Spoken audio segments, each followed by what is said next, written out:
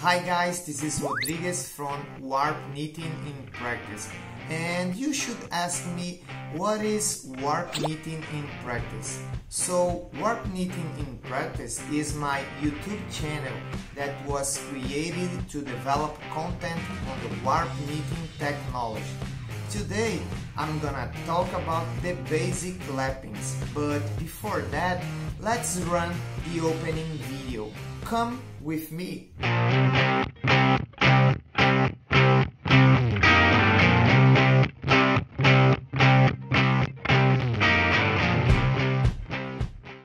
Well, first of all, I'm gonna show you guys the lapping board. It is a board to represent the dotted paper and it will be used to develop all graphic representations of the basic lappings. Let's understand how it works. So here as you can see we have numbers from 0 to 6 to represent the space between the needles. All white points represent the needles and the horizontal lines represent the stitch courses and the vertical line means that we have stitches at the same needle. So on the lapping board we will represent all the basic lappings. And which are the basic lappings? The basic lappings includes pillar stitch, 1 by 1 lap, 2 by 1 lap, 3 by 1 lap, 4 by 1 lap, atlas lap, and 2 needle overlap. So now we are going to construct the lappings on the lapping board. Let's get started. Well, let's start with the closed pillar stitch that has the chain notation 1 0 in this lapping the guide bar places always the same yarn around the same needle so starting here we have 1 so goes on 1 after that 0 we can do it again. One. Zero. One more time. One. Zero. One. Zero and to finish one zero as you can see here we have the lapping closed pillar stitch represented on the lapping board.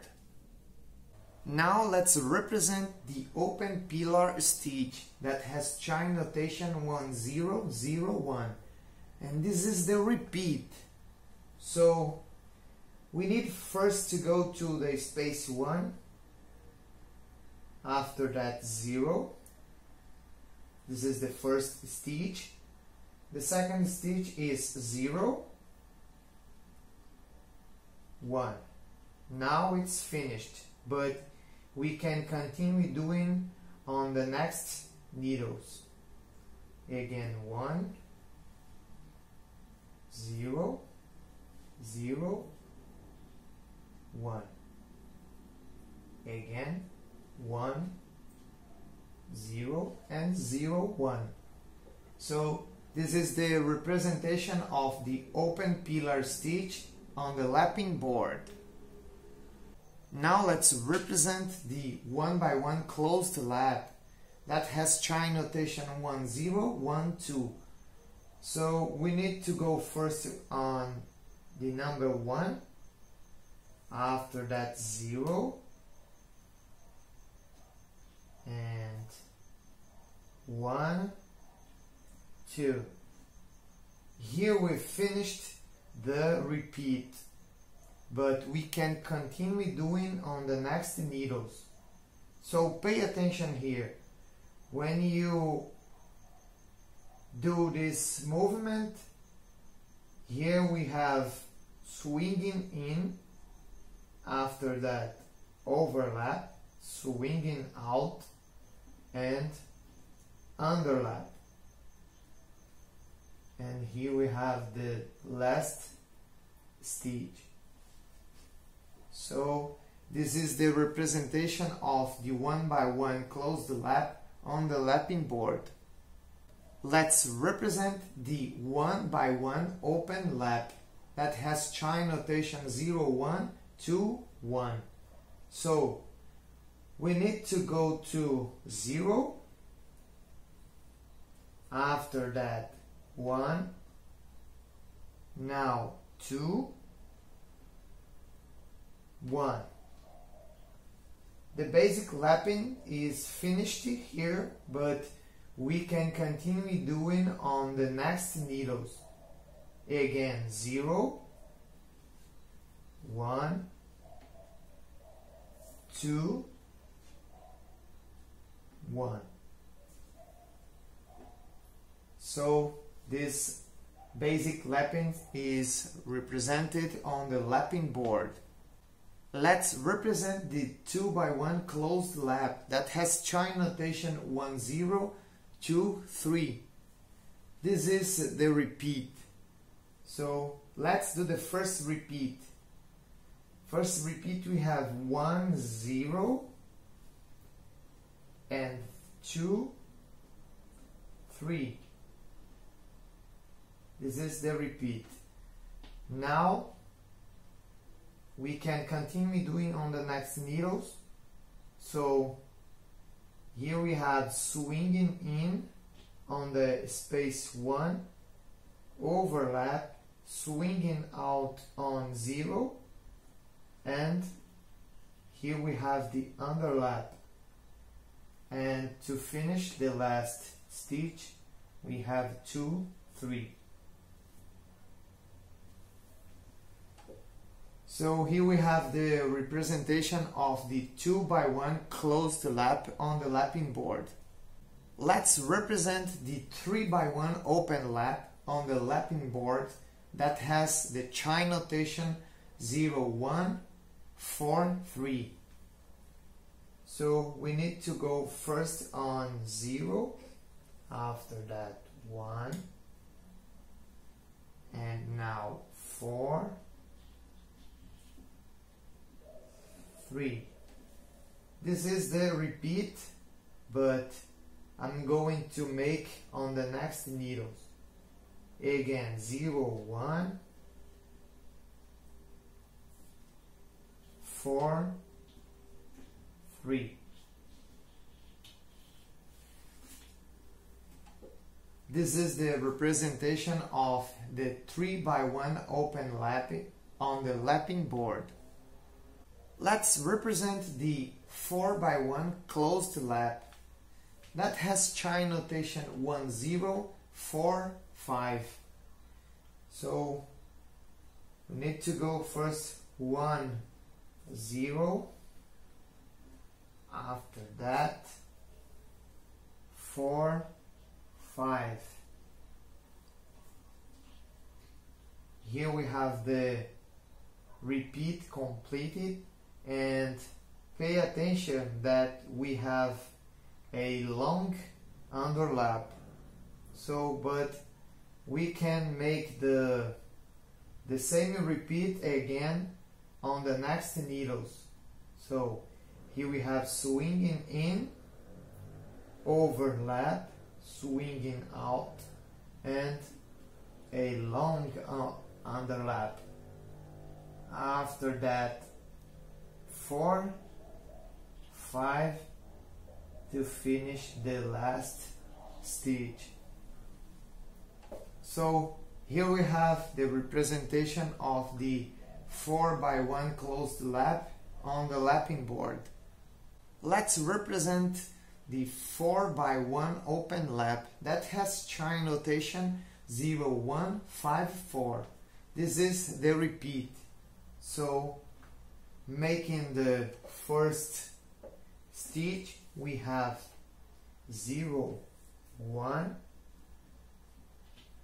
now we need to go to 5 4 this is the repeat but I'm going to make on the next needles 0 1 again and 5 4 and this is the representation of the 4-1 open lap on the lapping board. So and now 4 row closed atlas. That has a long repeat with 8 stitch courses. So the first stitch course is 5 4 5 4 the second 3 4 3 4 now 2 3 2 3 now 1 2 1 2 and now 0 1 0 1 0 1 so 2 1 2 1 3 2 3 2 4 3 to finish this entire repeat so here we have the representation of the four row closed atlas on the lapping board. Now let's represent the four row open atlas that has a long chain notation with eight stitch courses. The first stitch course is 4, 5, the second 4, 3, 3, 2, 2, 1, 1, 0, 1, 2, 2, 3, 3, 4 let's start making here the representation the first stitch course is 4 5 4 5 the next is 4 3 4 3 now 3 2 3 2 2 1 2 1 2 one. Now one zero one zero and now one two. One two. Two three. And three four to finish this repeat. After that we can start all the lappings again. So this is the representation of the four row open atlas on the lapping board.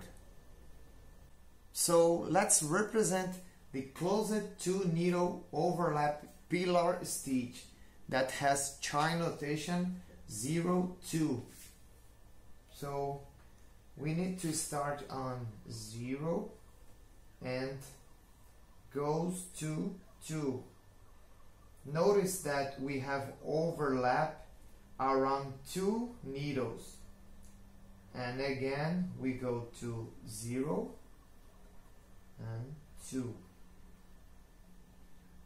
here we have the repeat.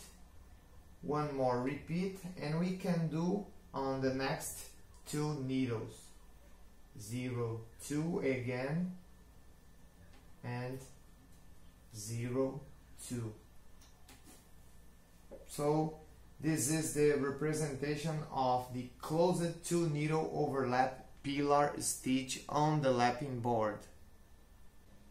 And now to finish the representation of the basic lappings let's represent the open two needle overlap pillar stitch that has chain notation 0 2 2 0 this is the repeat.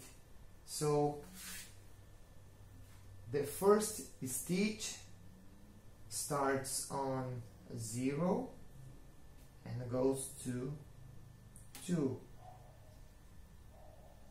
The second stitch is 2 0 so 2 and 0 so this is the repeat but we can make on the next needles again 0 2 and 2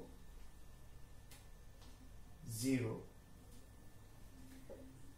this is the representation of the open two needle overlap pillar stitch on the lapping board. So this way we finish the representation of the all basic lappings here on the lapping board if you liked this video, be sure to subscribe, leave a comment and click on the like button. And you can also come back here to check me out when I upload another new videos here on my YouTube channel. Thanks for watching this video and I hope to see you again. Bye bye!